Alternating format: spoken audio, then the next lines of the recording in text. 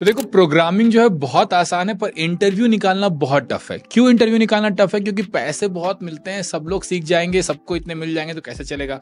तो जान जानबूझकर जावा स्क्रिप्ट इंटरव्यू जटिल जटिल सवाल, यानी कि डिफ़िकल्ट डिफ़िकल्ट क्वेश्चन पूछते हैं। बट वरी नॉट मैं क्या करता हूँ, आपके लिए दस वो क्वेश्चन लिस्ट कर देता हूँ, जिसको अगर आपने समझ लिया, रटा नहीं समझ लिया तो इसके अराउंड सारे क्वेश्चन आप बना सकोगे और जावास्क्रिप्ट इंटरव्यू निकालना रिलेटिवली बहुत ईजी हो जाएगा आपके लिए। तो पहला सवाल आता है सेट टाइम आउट के around set time out zero क्या होता है, क्यों होता है? अगर तीन तरह के सेट टाइम आउट होगा तो क्या होगा, किसका आउटपुट कैसे होगा? ये आपसे एपीआई नहीं पूछ रहे। सेट टाइम आउट तो समझना ही है, लेकिन ज़्यादा ज़रूरी है क्या आपको इवेंट लूप समझ में आता है? क्योंकि जावा स्क्रिप्ट में इवेंट लूप एक बहुत ही खतरनाक कॉन्सेप्ट है और उसको टेस्ट कर, उसकी अंडरस्टैंडिंग को टेस्ट करने का तरीका है सेट टाइम आउट और इसी में आजकल एक नया चीज़ डाल देते हैं, जिसमें प्रॉमिस डॉट रिजॉल्व भी डाल देते हैं और पूछते हैं, अब बताइए किसका आउटपुट आएगा, कैसा आएगा? क्यों? क्योंकि वो जानना चाहते हैं क्या आपको माइक्रो टास्क समझ में आता है। तो अगर आपको इवेंट लूप की अंडरस्टैंडिंग है, अगर आपको माइक्रो टास्क की अंडरस्टैंडिंग है तो आप इस तरह के क्वेश्चन को सॉल्व कर सकते हैं। क्योंकि देखिए, सिर्फ़ आउटपुट नहीं बताना है। आपको ये भी बताना है कि ये आउटपुट क्यों आ रहा है और अगर हम इसको ऐसे कर देते या वैसे कर देते तो आउटपुट में क्या चेंज आ जाता। तो समझना ज़रूरी है इन दो कॉन्सेप्ट्स को। दूसरी तरह का सवाल आता है कि आप अपने जावा स्क्रिप्ट फाइल्स को कहाँ रखोगे? हेड में रखोगे? बॉडी के एंड में रखोगे? कहाँ रखोगे? एसिंग यूज़ करोगे या डिफर यूज़ करोगे? अगेन हम क्या करते हैं? हम कीवर्ड्स और राइट आंसर के चक्कर में फंस जाते हैं, जबकि क्वेश्चन पूछने वाला ये नहीं जानना चाह रहा है कि आपको एसिंक और डिफर का अंतर पता है कि नहीं। वो तो आपको पता होना ही चाहिए। वो ये जानना चाह रहा है कि क्या आपको क्रिटिकल रेंडरिंग पाथ समझ में आता है? इसका क्या मतलब होता है? ब्राउज़र एक पेज को रेंडर कर रहा है तो क्या चीज़ें ब्लॉकिंग होती हैं? क्या चीज़ें नॉन ब्लॉकिंग होती हैं? ये कैसे काम करता है? और इसके कारण आपको एच को अलग सीएसएस को अलग और जावास्क्रिप्ट को अलग अलग जगह रखना चाहिए। किसको हेड में, किसको बॉडी में, किसको एंड में, किसको डी किसको डीफर किसको एसिंग ये समझने के लिए पहले ये समझना ज़रूरी है कि क्रिटिकल रेंडरिंग पाथ क्या होता है। तो जब ये क्वेश्चन आपसे पूछा जाता है और अच्छे इंटरव्यूज़ में ही पूछा जाता है तो आपका interviewer again they are never looking for the right answer what they are looking for is कि क्या आपको क्रिटिकल रेंडरिंग पाथ सोचना, समझना और रीजन करना आता है कि नहीं। उसके बाद एक नया क्वेश्चन आया है मार्केट में जो काफ़ी पूछा जाता है, जिसको कहते हैं लेट कॉन्स्ट और वैर में डिफरेंस बताइए। अगेन आपको एक स्निपेट दिया जाएगा, आपको पूछा जाएगा कि इसका आउटपुट क्या आएगा, इसमें एरर आएगा तो कौन सा एरर आएगा रेफरेंस एरर आएगा, क्या एरर आएगा, इस एरर से हम क्या समझते हैं? तो कई बार आप क्या करते हो, आप ये ट्रिक क्वेश्चन रट लेते हो और आपको ट्रिक लगता है इस क्वेश्चन में इसलिए क्योंकि ऑब्वियसली हर दिन तो ये यूज़ होता नहीं है। ये सच्चाई है कि जो भी हम बात कर रहे हैं, इन चीज़ों का डेली यूसेज बहुत कम है। लेकिन हाई पेइंग जॉब्स में फ़िल्टर करने के लिए क्वेश्चन पूछे जाते हैं। अगेन इंटरव्यूअर यहाँ ये नहीं जानना चाह रहा है कि क्या आपको इनका अंतर पता है। इंटरव्यूअर ये जानना चाह रहा है कि क्या आपको ब्लॉक स्कोपिंग समझ में आती है। देखिए ब्लॉक स्कोपिंग ई में इंट्रोड्यूस किया गया।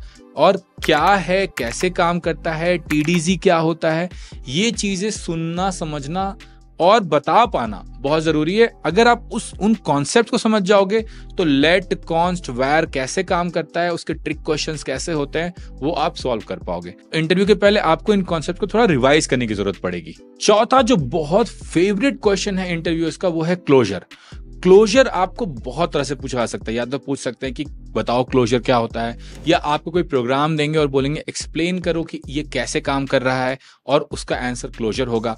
और या तो आपको बोला जाएगा कि एक एग्ज़ाम्पल लेके समझाइए कि क्लोजर कैसे काम करता है। क्लोजर पे इतना ज़ोर क्यों है? क्लोजर के केस में अलग चीज़ है। लेट कॉन्स्ट वैर के ट्रिक क्वेश्चन शायद इतने यूज़ ना हो। क्रिटिकल रेंडरिंग पाथ जिसके बारे में हमने बात की है, वो एक बार सेटअप हो जाता है तो आपको डेली यूज़ नहीं पड़ता है। बट क्लोजर ऐसी चीज़ है जिसके, जिसका यूज़ आपको हर दिन करना पड़ता है, शायद आप उसको देख नहीं रहे हो। तो यहाँ इंटरव्यूअर यही समझना चाह रहा है कि क्या आप क्लोजर का यूसेज समझ के करते हो और क्या आप उसके यूसेज को अपने मन अनुसार कर सकते हो कि नहीं? तो इस तरह के क्वेश्चन आपसे पूछे जाते हैं जिसमें आपको क्लोजर यूज़ करना पड़े, समझना पड़े, समझाना पड़े, और अगर आप क्लोजर समझते हो तो वो बहुत सिंपल हो जाता है।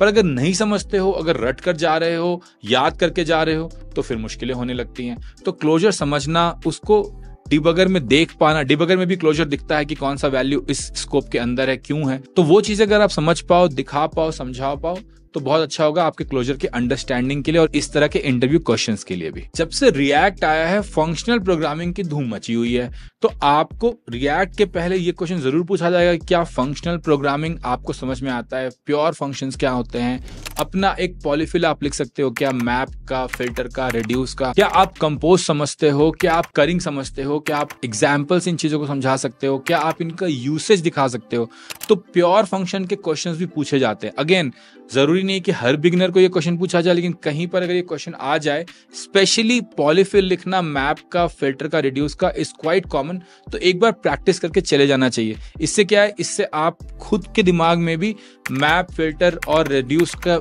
मैजिक को हटा रहे हो। आप बोल रहे हो, यार कोड ही तो है। बस एक प्रोग्राम में लिखा हुआ, एक हायर ऑर्डर फ़ंक्शन में लिखा गया है इस चीज़ को। इनफैक्ट जब आप कोड लिख रहे हो, अगर मशीन कोडिंग राउंड भी कर रहे हो और या कोई और कोडिंग राउंड भी कर रहे हो तो उसमें भी ये ख्याल रखना बहुत ज़रूरी है कि जब आप फ़ंक्शंस लिख रहे हो even if you are not writing in React paradigm pure लिखोगे तो बेटर मार्क्स मिलेंगे। अगर इनमें से किसी भी क्वेश्चन पर एक डीप वीडियो चाहिए तो कमेंट में ज़रूर बोलना कि भैया ये वाला टॉपिक समझा दीजिए और मैं समझा दूँगा। सिक्स है हमारा सबसे प्यारा जावा का राज दुलारा दिस यार दिस तो बहुत कंफ्यूजिंग है जावा स्क्रिप्ट में, उसके इतने सारे रूल्स हैं, याद रखना मुश्किल है।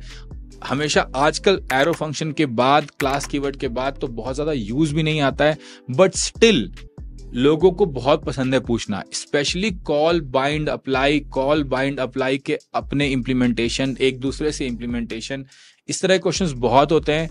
फिर से मैं कहूँगा ये वैसे क्वेश्चन है जो कभी भी यूज़ नहीं होते।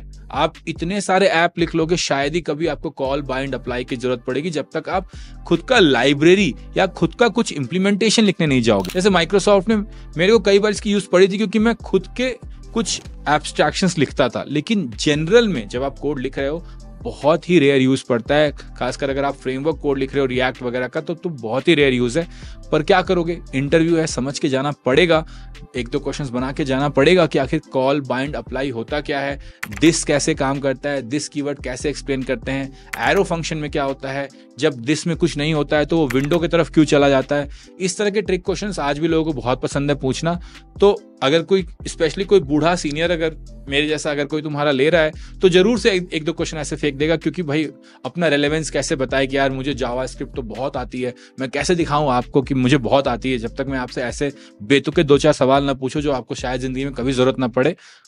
बट है इंटरव्यू तो है पढ़ लेना, तैयारी कर लेना, क्या फ़र्क पड़ता है? सातवां, कई बार आपसे कुछ फ्रेमवर्क के क्वेश्चन भी पूछते हैं। नहीं फ्रेमवर्क में ये नहीं पूछते हैं कि ये कैसे काम करता है, वो कैसे काम करता है। फ्रेमवर्क में ऐसे पूछते हैं कि अगर रिएक्ट एंगुलर और व्यू में आपको एक चीज़ चुनना हो तो आप क्या चुनोगे, क्यों चुनोगे, क्यों नहीं चुनोगे?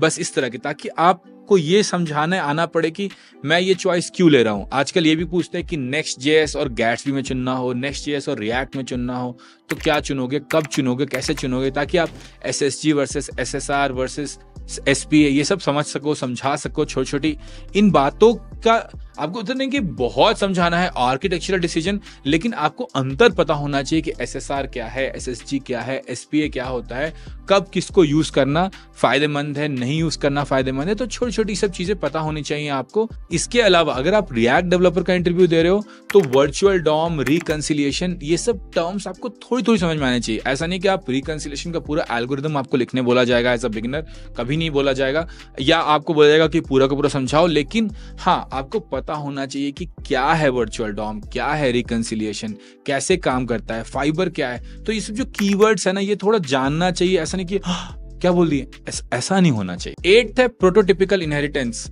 अब मुझे लगता है ये सवाल कम पूछा जाना चाहिए लेकिन फिर भी जो बूढ़े लोग हैं उन्होंने क्लास इंप्लीमेंट करने में बहुत मेहनत लगाई थी। शायद कभी ज़िंदगी में क्लास लिखा था, अब कोई नहीं लिखता। लेकिन फिर भी वो ये सवाल आपसे पूछ सकते हैं। तो माइट एज वेल पढ़ के जाना मल्टी लेवल इनहेरिटेंस पढ़ के जाना। जितने ज़्यादा सैलरी का जॉब उतने बेतु के सवाल। तो ये भी पढ़ के चले ही जाना। नाइन्थ है promise async await call back इनके बीच के डिफरेंसेस इनके आउटपुट के क्वेश्चन क्या आप समझते हो कि अवेट लगाने के बाद उसके नीचे वाला सब कुछ देन में चला जाता है? तो दो पैरल रिक्वेस्ट कैसे करोगे? दो सब सिक्वेंशियल रिक्वेस्ट कैसे करोगे कॉल बैक से कैसे निकलोगे, खुद का प्रॉमिस इंप्लीमेंटेशन कैसे लिखोगे, ये भी क्वेश्चन कई बार पूछते हैं लोग, अपना प्रॉमिस इंप्लीमेंटेशन कैसे लिखोगे, वो तीन स्टेट आप कैसे मैनेज करोगे? तो एक दो कोडिंग क्वेश्चन तो या आउटपुट क्वेश्चन तो आप इससे एक्सपेक्ट कर ही सकते हो। ये बिल्कुल फेवरेट है लोगों का promise call back async await के अराउंड आउटपुट या प्रोग्रामिंग क्वेश्चंस पूछना। और दसवें नंबर पे है debounce versus throttle debounce और थ्रॉटल काफ़ी यूज़ होता है, क्योंकि जब आप इनपुट कर रहे हो तो किसी भी तरह का, चाहे वो टाइप इनपुट हो या क्लिक इनपुट हो तो आपको देखना पड़ता है कि आप सर्वर को ज़्यादा परेशान ना करो।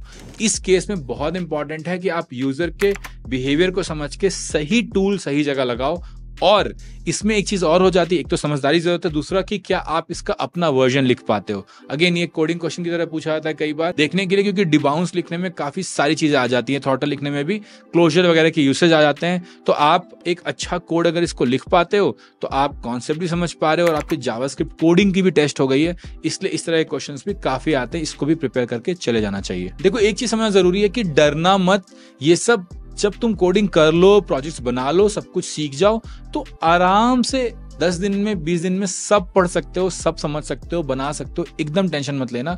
इंटरव्यू देने भी लगोगे ना, दो चार इंटरव्यू में ये सब क्वेश्चंस दिखने लगेंगे तो अपने आप प्रैक्टिस हो जाएगा। तो इसके लिए बहुत परेशान होने की ज़रूरत नहीं है, और अगर परेशान नहीं होना है, आगे भी सब कुछ पता रखना है तो सब्सक्राइब करना लाइक करना कमेंट करना शेयर करना मत भूलना।